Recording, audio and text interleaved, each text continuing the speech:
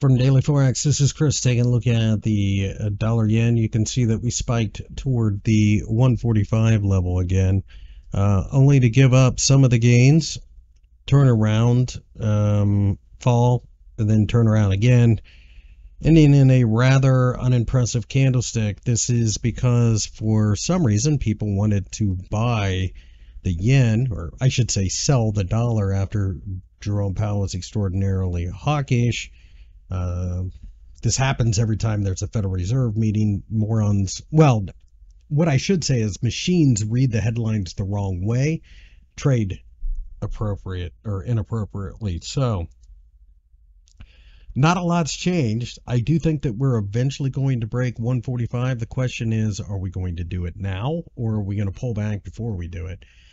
Uh, 140 is a major support level. Uh, so is the 50 day EMA. I do think that it is probably only a matter of time before we break out and go to 147 and a half and 150.